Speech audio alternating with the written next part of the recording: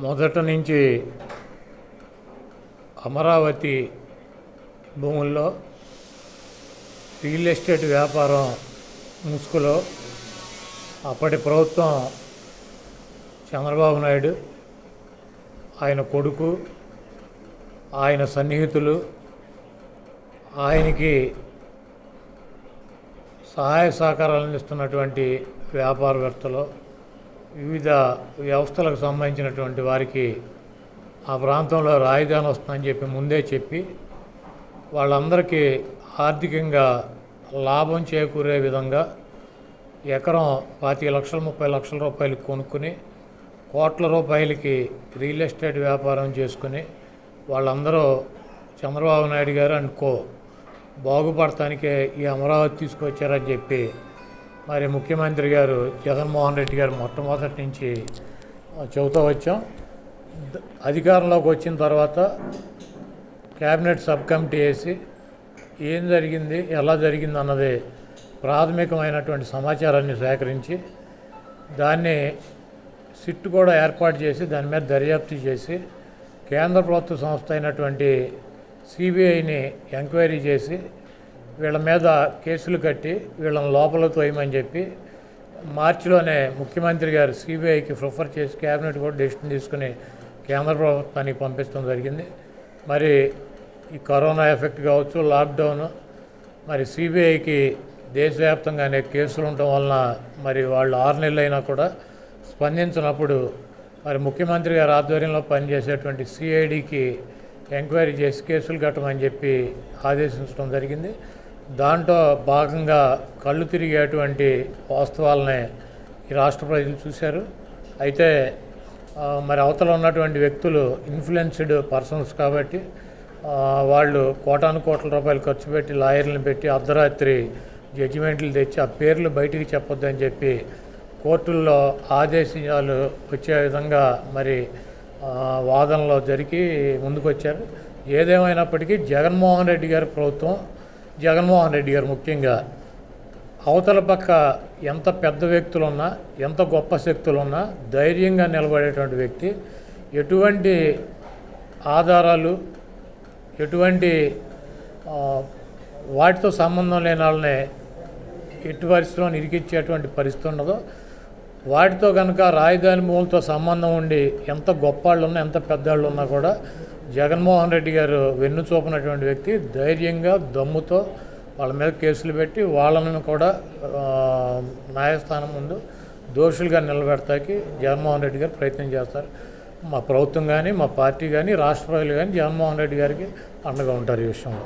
చంద్రబాబు గారి మీద ఎలాంటి కేసులు పెట్టినా సరే ఎవరు గెలవరు అది ఆధారాలు ఉండవు. రాజశేఖర రెడ్డి గారు పెట్టారు విజయం గారు పెట్టారు ఏమి అన్ని ఓడిపోయారు కేసులు ఆధారాలు ఉండవు. ఇప్పుడు చంద్రబాబు నాయుడు జీవితం ఏంటి? చంద్రబాబు నాయుడు ఎక్కడ పుట్టాడు? చంద్రబాబు నాయుడు తండ్రి ఏం చేసేవాడు? చంద్రబాబు నాయుడుకి ఆస్తి ఏముంది? చంద్రబాబు నాయుడు రాజకీయాల్లోకి ఎలా వచ్చాడు? ఆ తర్వాత ఎన్టీ రామారావు దగ్గరికి ఏ రకంగా చేరాడు?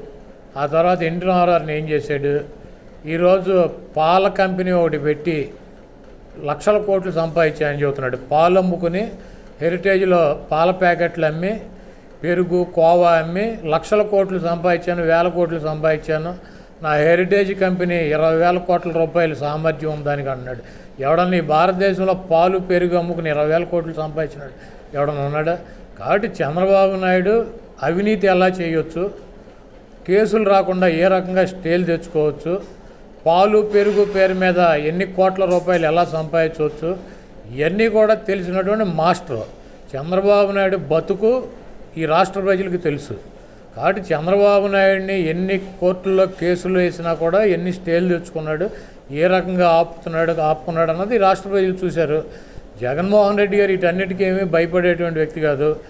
వాటిల్లో చంద్రబాబు నాయుడు ప్రమేయం ఉందని చెబితే డెఫినెట్గా చంద్రబాబు మీద కూడా కేసులు పెడతారు. ఆయన స్టేలు తెచ్చుకోవచ్చు బెయిల్ తెచ్చుకోవచ్చు జైలుకి వెళ్ళకుండా ఆపుకోవచ్చు ఆయనకు ఉన్నటువంటి ఇన్ఫ్లుయెన్స్తో ఆయన రకరకాలుగా చేయొచ్చు. పైన దేవుడు ఉన్నాడు ప్రజలు చూస్తున్నారు ఆల్రెడీ ప్రజలు శిక్ష వేశారు.